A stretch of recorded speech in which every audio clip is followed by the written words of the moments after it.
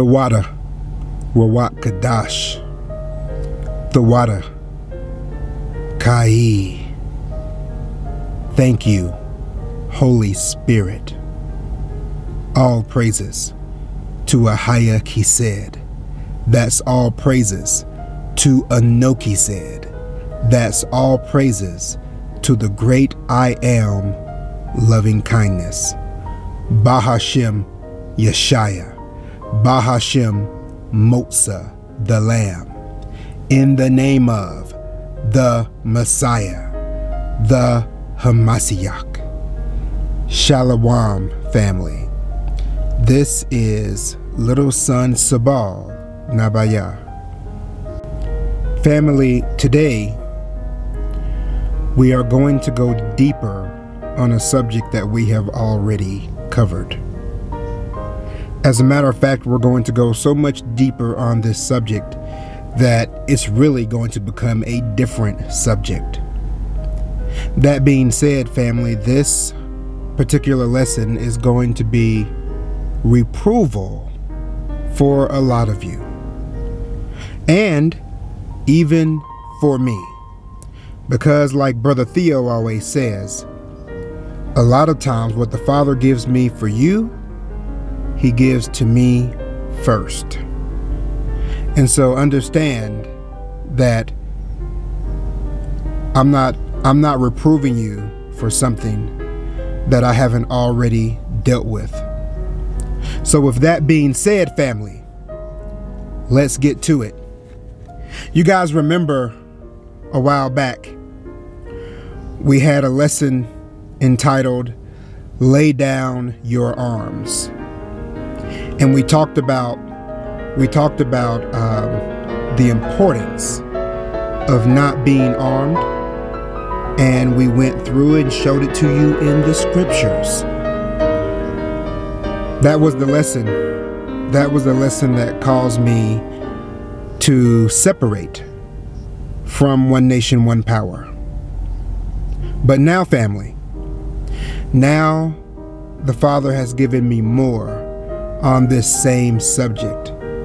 But like I said, it's going to kind of take a different appearance this time because there's another level to being unarmed.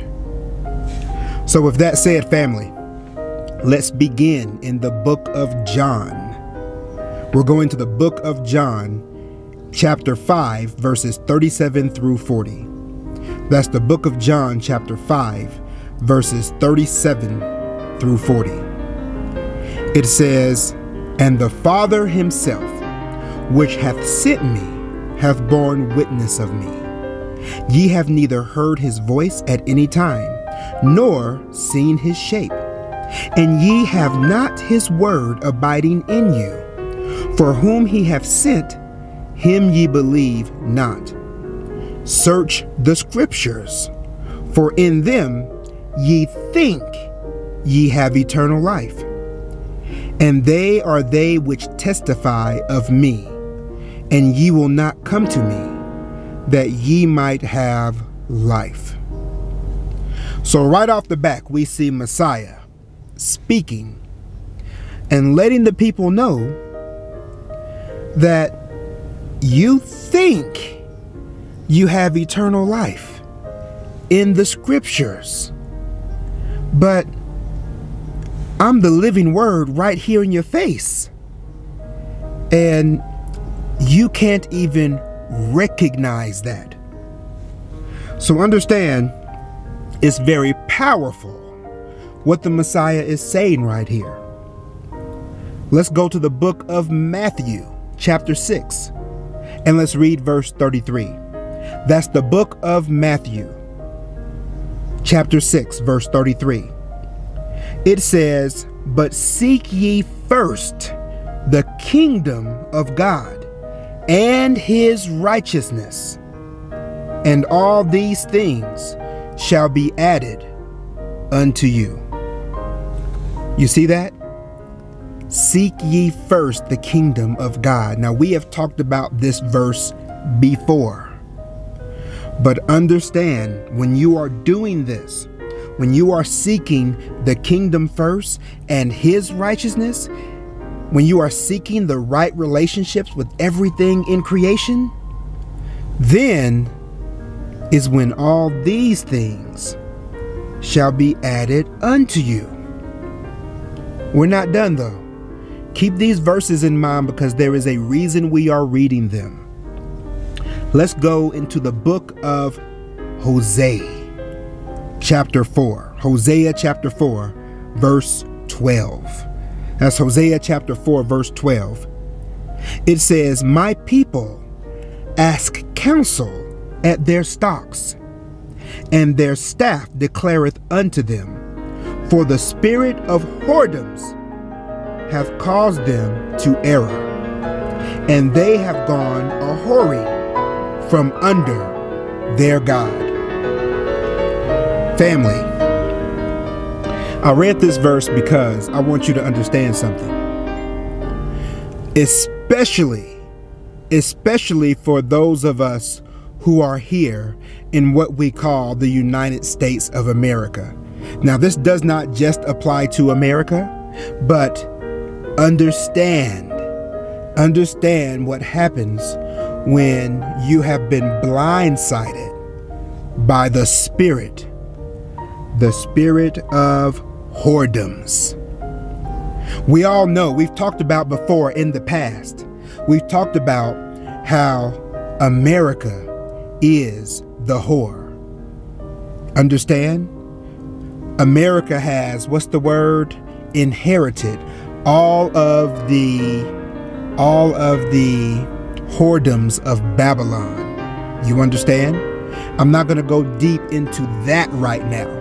But if you go back, almost back to the beginning, we talked about those things. And I'm, and I'm saying the beginning of my YouTube channel. We went through those lessons. We've talked about that before. So most of us on here who have been here understand that America is polluted with whoredoms. But here's what I want you to understand. For us here that have been living, have grown in America, in this society, and in like societies around the world, growing in any place where the spirit of whoredoms have prevailed, understand that we have erred. How have we erred? We have erred on a, what's the word? We have erred on a psychological level. We have erred on a subliminal level. We have erred. But look what it says. It says, My people ask counsel at their stocks. You see that? and their staff declareth unto them, For the spirit of whoredoms have caused them to error, and they have gone a whoring from under their God. You see, even in our error, we can tell. We can tell when we're off. You understand? We're not done though. Let's go to the book of Isaiah, chapter 45. And let's read verses 17 through 25. That's the book of Isaiah, chapter 45, and we're going to read verses 17 through 25. It says, But Israel shall be saved in the Lord with an everlasting salvation. Ye shall not be ashamed nor confounded, world without end. For thus saith the Lord that created the heavens, God Himself that formed the earth and made it he hath established it. He created it not in vain. He formed it to be inhabited. I am the Lord, and there is none else. I have not spoken in secret, in a dark place of the earth. I said unto the seed of Jacob, Seek ye me in vain. I, the Lord, speak righteousness. I declare things that are right. Assemble yourselves and come. Draw near together, ye that are escaped of the nations. They have no knowledge that set up the wood of their graven image, and pray unto a God that cannot save. Tell ye, and bring them near, yea, let them take counsel together, who have declared this from ancient time, who have told it from that time. Have not I the Lord? And there is no God else beside me, a just God and a Savior. There is none beside me. Look unto me, and be ye saved, all the ends of the earth. For I am God, and there is none else. I have sworn by myself, the word is gone out of my mouth in righteousness, and shall not return, that unto me every knee shall bow, every tongue shall swear. Surely shall one say, In the Lord have I righteousness and strength. Even to him shall men come, and all that are incensed against him shall be ashamed. In the Lord shall the seed of Israel be justified and shall glory. Wow, family. So, family, he speaks righteousness. He declares things that are right. And in him there is salvation. So already family, just just based off of this verse alone, we can already see who our savior is and how our savior operates. You understand? But we aren't done, family, because there's an elephant in the room that has to be addressed. Let's go stay in the book of Isaiah and let's go over to chapter 46. Isaiah chapter 46, and let's read verse 1. Isaiah 46, verse 1. It says, Baal boweth down, Nebo stoopeth. Their idols were upon the beast and upon the cattle. Your carriages were heavy loaden. They are a burden to the weary beast. We're going to come back to this verse, family. Drop down to verse 9. That's Isaiah 46, verse 9. And let's read verses 9 and 10. It says, Remember the former things of old for I am God, and there is none else. I am God, and there is none like me, declaring the end from the beginning, and from ancient times the things that are not yet done, saying, My counsel shall stand, and I will do all my pleasure. Hold that, family. We're going to discuss it. Drop down to verse 13, though. Stay in Isaiah 46 and verse 13. It says, I bring near my righteousness. It shall not be far off, and my salvation shall not tarry. And I will place salvation in Zion for Israel, my glory. Family, let me explain something to you. Let's look back at verse 1 again in Isaiah 46, where it says, Baal boweth down, Nebo stoopeth. These are talking about Babylonian gods. It's talking about their head god, and then it's talking about Nebo. So, understanding the Babylonian pantheon, understand that Nebo is their Christ like character. He's nothing like the Messiah, but for them, he would have represented the same type of power and even form and function to a certain degree. Because Nebo was over the Word. He established that things that are written are true, which we know is a lie from the pit of hell. just because you write a lie down doesn't make it be the truth. And family, if you have not watched the lesson that we did on Nebo, check that out. We did a whole lesson on Nebo. Just type in my name and Nebo or just go through the videos back in the past. I think it's the video's probably three years old at this point, maybe two and a half years old. I'm not sure. But go back and you'll see that whole entire lesson there. We break Nebo all the way down. But right now, I want you to understand what this is saying. This is saying Nebo stoopeth for a reason. It's identifying these particular gods because gods with a little g, by the way, but it's identifying them because this scripture is a warning. It is a warning for now, the times we are living in. And not even just the times we are living in, but the scripture could see afar off what was going down.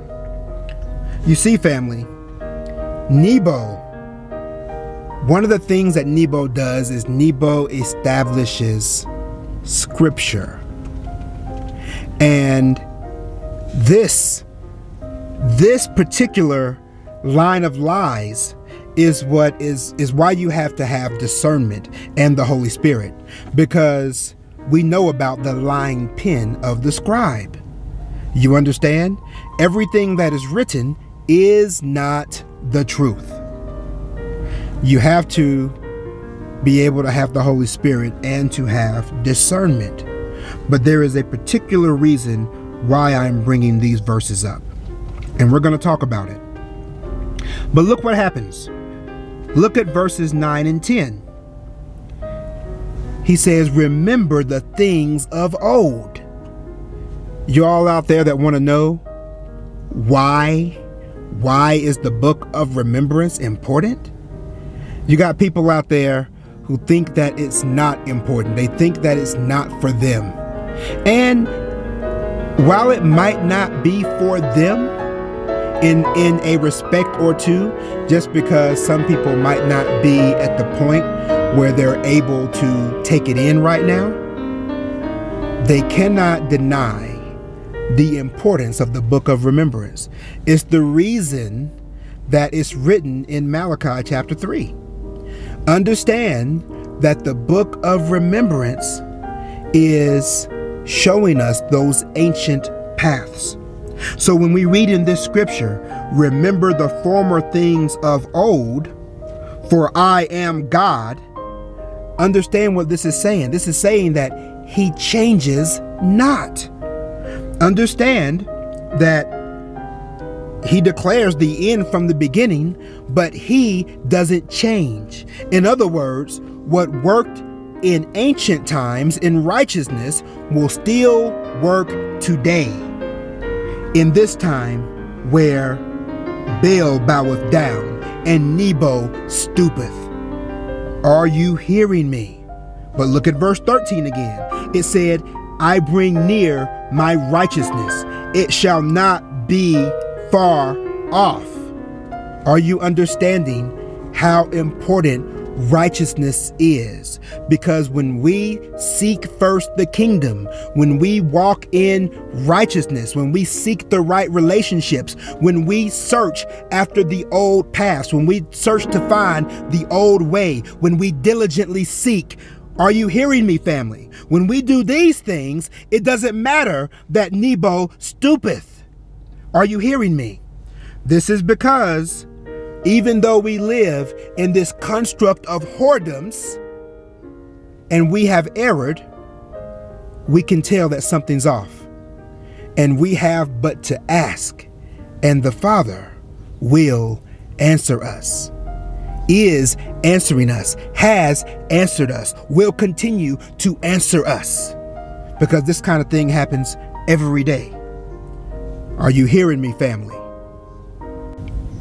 You see, family, what I am trying to help you establish right now is just more righteousness. I'm trying to show you the right relationship with the scripture the scriptures themselves. We have to have the right relationships with everything, the scripture included. Family, this lesson is titled, unless I change the title before I upload it, my tentative title for this lesson right now is Unarmed and Dangerous. You see, family, we talked before about not bearing arms. But we also have spoken many times about what? About being armed with the scripture. We've talked about wielding wielding the word as a sword. Oh, we talk about how the word cuts. And it does.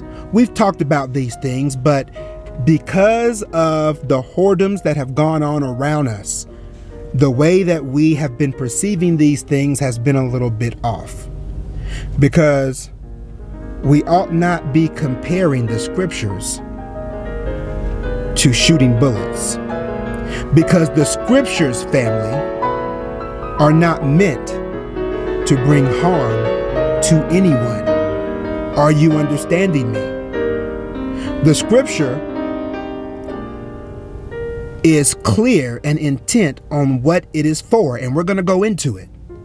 But what it is not for is it is not to be weaponized for you to go and tear someone down.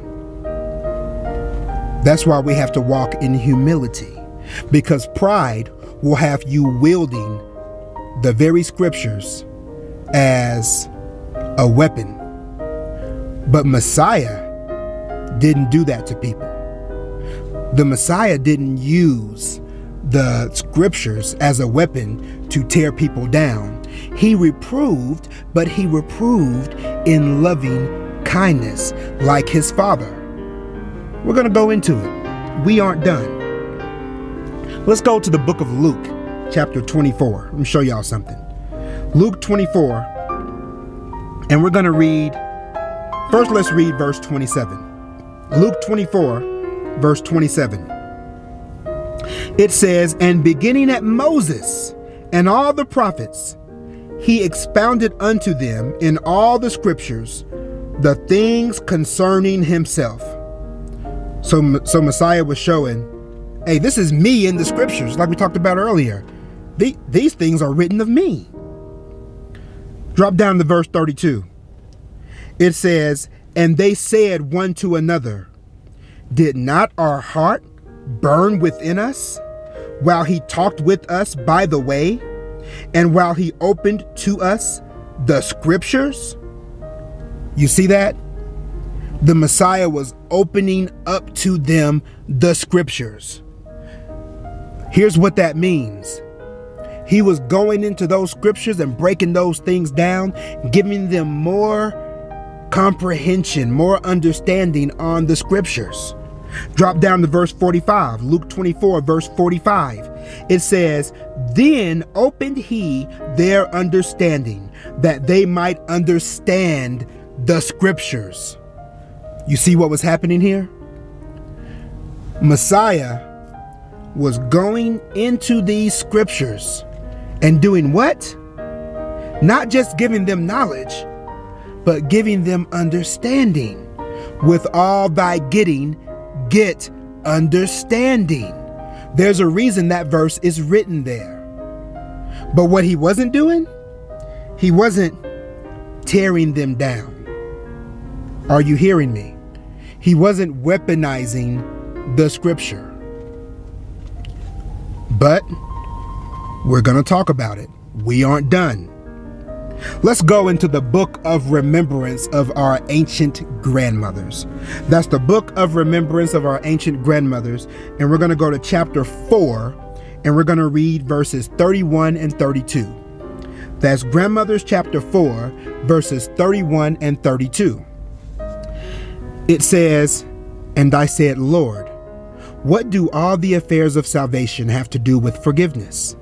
And the Lord said, Salvation is when forgiveness removes the effects of sin in the midst of the continuing consequences of sin, so that the children of my Father can know Him in the midst of the temporal world.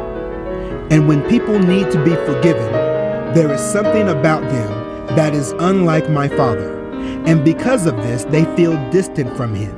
And the removal of the effects of sin brings them to stand clean before Him once again. And thus, reproval is meant to bring repentance. And repentance will bring forgiveness. And forgiveness will restore and refresh and cleanse hearts and souls back into an awareness of the presence of Anokeesed. And when you are forgiven, the effects of your sin are removed from your life. And when you forgive others, the effects of their sin are removed from their life. And when you ask me to forgive someone, the effects of their sin are removed from their lives for that specific incident. So, family, are you understanding? Are you understanding that this process this process is one that begins with reproval. Reproval is the key word here.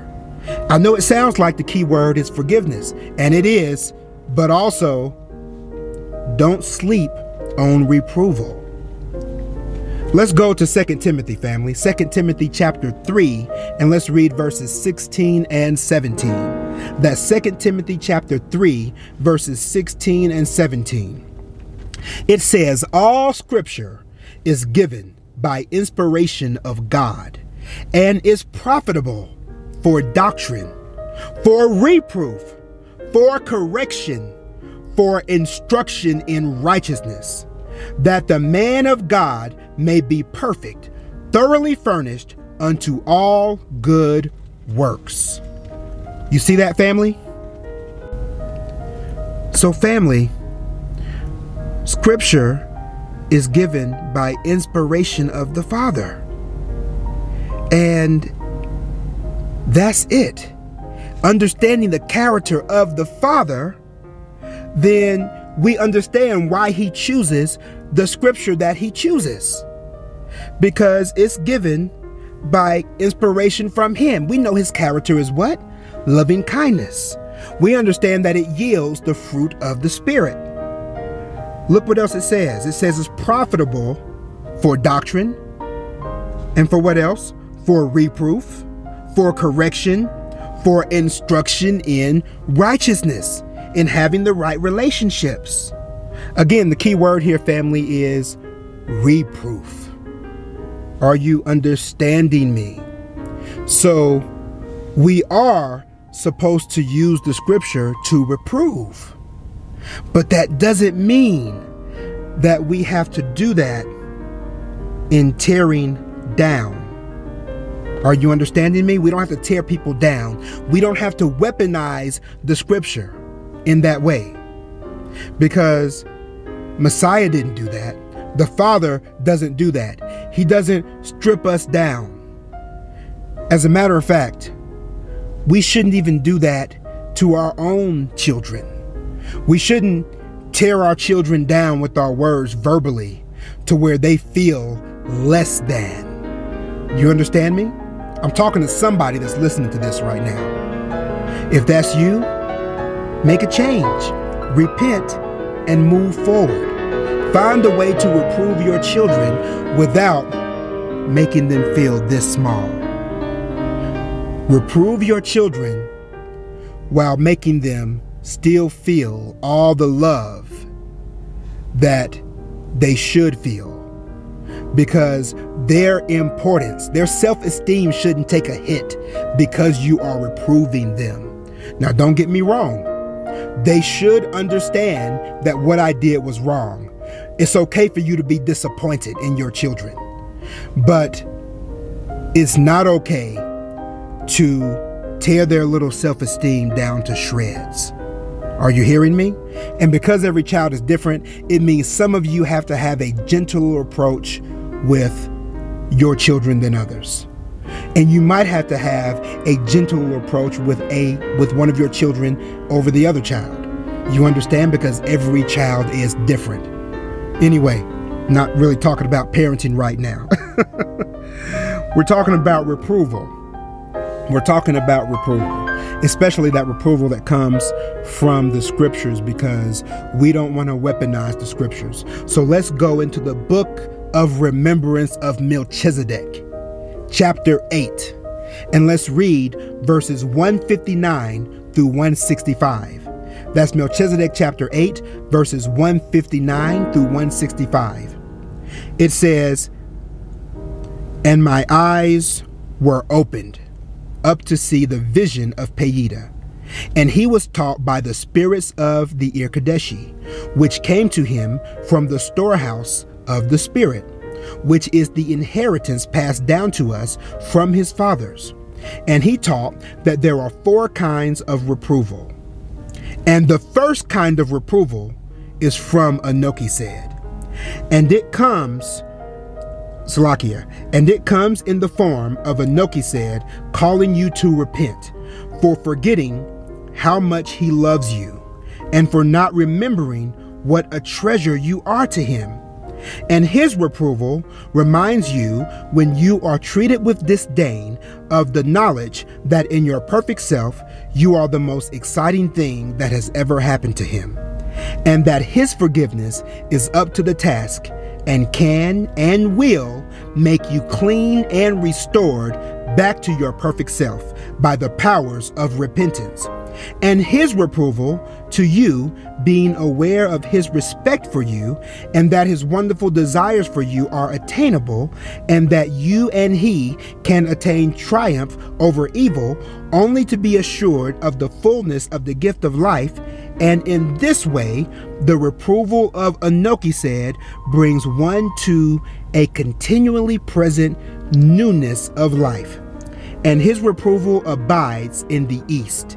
And in his walk in the flesh, Motsah expressed the reproval of his father often.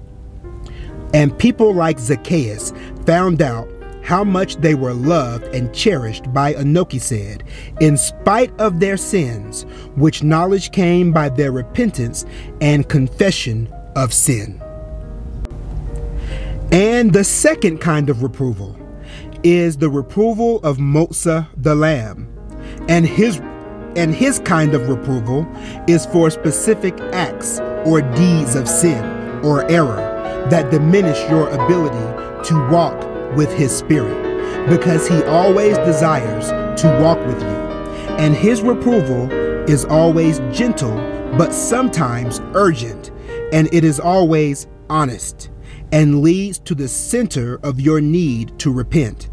It is wise and considerate and led by the spirit of compassion, and they call to love both him and your fellows and his reproval always urges you to do the kind of repentance that is joined with forgiveness, and it generates living life in rich happiness and grace without ill, slakia, without ill will or rancor, in the face of the sin to be seen in your fellows. And his reproval is what Motsah feels with you in the south.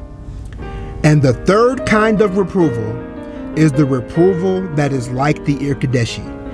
And as I view this, their reproval is entirely new to me, and I can see that Peyida is focused entirely upon speaking only of the reproval of the Irkadeshi, and Motsah while upon the earth as a man.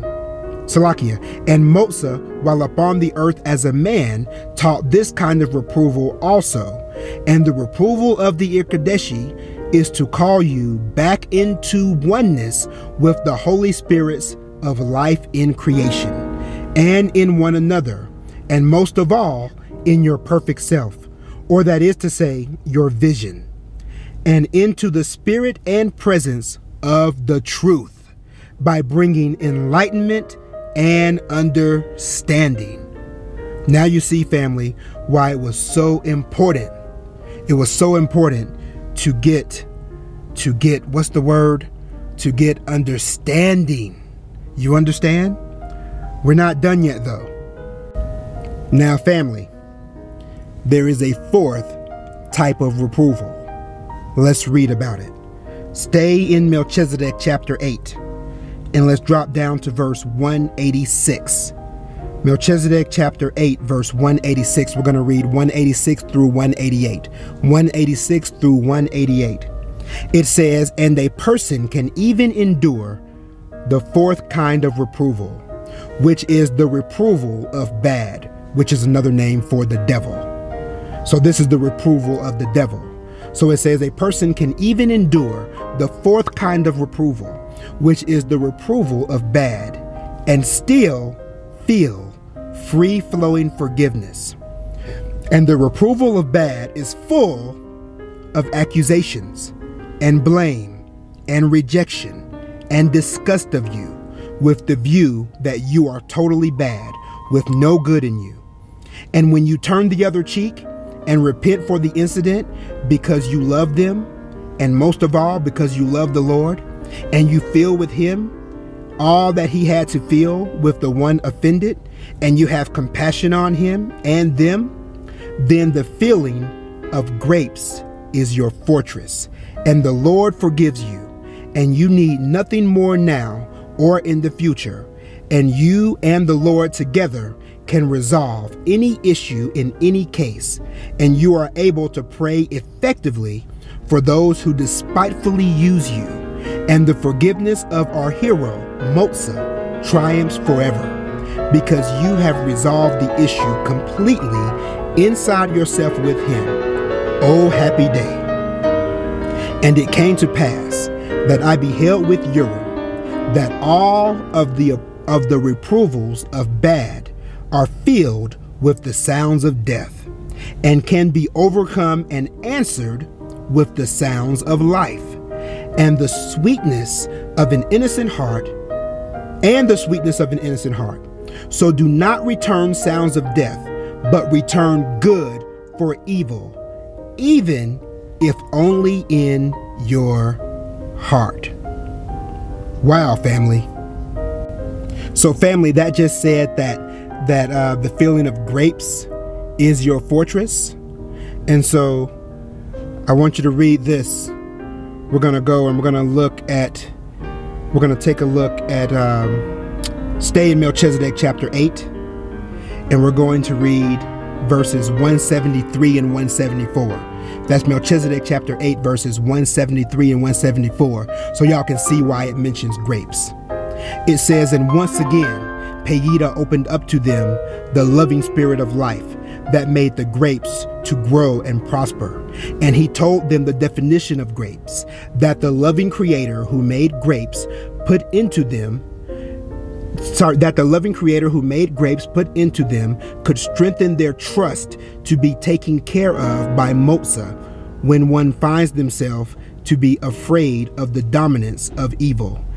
And they all knew they were under such dominance. And he told them that the loving kindness of the Creator, Motsah, was in everything surrounding them in creation. And it is known as the Ir Kadeshi. And the grapes feel the assurance of his presence can bring trust that he will deliver you from evil and from oppression and bondage, and that he can be trusted to guide them to be holy and secure in the face of pride and crudeness. And I wondered if any of them had escaped after that. And so that's that's the seer wondering if any of them had escaped from that situation. However, I read this so you can understand what grapes feel. Understand that a knowledge of the Messiah being in and through all element, a knowledge of him being with all of the Irkadeshi is protection and will protect you. Or you understand now why it says that grapes can be your fortress? You see, family, the lesson that preceded this one, where we talked about um, not bearing arms, not using weapons. Understand, family, that we are, we don't have to have weapons to feel safe. We don't need that because we have the Messiah in and through all element because it is by him that all things consist. Are you hearing me, family? So understand how important this reference to grapes is, even to your own protection. You understand? Now, family, I want you to understand how important, before we get out of here, I want you to understand how important reproval is. And we've talked about this before, and we've read the verse we're getting ready to read already before. When we went, when we did our lesson about the, about the, um, what's it called? When we did our lesson about the qualities of spirit, we, we went through those seven qualities of spirit, but we're about to go through one of them again so you can understand what's going on here. So, family, let's go into the book of our ancient grandmothers, the book of remembrance of our ancient grandmothers. And we're going to go to chapter 8 and read verses 23 through 25. That's the book of remembrance of our ancient grandmothers, chapter 8, verses 23 through 25. It says, And the sixth of the seven is you must learn to love repentance and be comfortable with all forms of reproval. You see that? So, not just the first three forms of reproval. Although we should try to deal with those first three forms in our active reproval, what we should not do is, is, is try to reprove like the devil reproves through all those accusations and, and tearing down of people. You understand? We shouldn't be weapons that way. We talked about not weaponizing the scripture, but don't even we- weaponize yourself. Change the way that you think, that you relate to people, because you ain't got to show them that side of you. But look what it says be comfortable with all forms of reproval, because even that bad reproval, we can endure that. We can we can grow from that. But let's finish reading this. It says, And the sixth of the seven is you must learn to love repentance and be comfortable with all forms of reproval, enough to look for it wherever it can be found. And in order to love repentance and earnestly seek reproval, one must view reproval and repentance to be having an intimate relationship with Motsah, the Lamb for the purpose of changing those things in your life to better express the desires Anokeesed has for you during the living of your gift of life. And those with pride view reproval and repentance as debasing or insulting. But the children of his right hand consider it to be exalting and find fulfillment to know the truth and respond to it with holiness of heart. And know that it is this very process of reproval and repentance that prepares you to be effective in your encounters with Motsah the Lamb. And that process is essential to prepare you to, in the end, stand before Him clean and unashamed.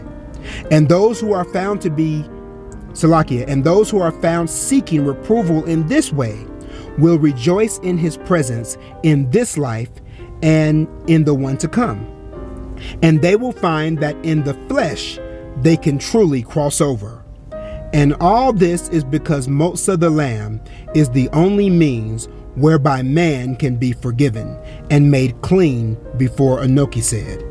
And know that reproval, followed by repentance, supported by his spirit, will of a certainty lead to a rich relationship with both the Creator and creation. And those who are afraid or threatened or angry because of reproval are seen by him to be unwilling to know him. And we cannot feel the love of those we have chosen not to know, nor can we love them. You see that, family? So, reproval. Reproval is so important. It's, re- it's important to the process that brings us to standing clean before the Father. Reproval, repentance, and forgiveness. So, family, don't weaponize the scripture and don't weaponize yourselves. You understand? I hope that I've given you all something to think about. I hope if the shoe fits, you will wear it. If this was reproval for you in any way, please, please implement these changes. And if you have a testimony about it, please put it down in the comments. Oh, I just remembered, don't forget to like, share, and subscribe. See, I said it. so y'all like this, y'all share it, and please subscribe if you're not subscribed already because it helps the algorithm and all of that. With that being said, family, remember that I love each and every one of you. Thawada, Kahee. All praises to Anokeesed, Bahashim Motsah, the Lamb. This is Little Son Sabal Nabaya saying much love and much shalom.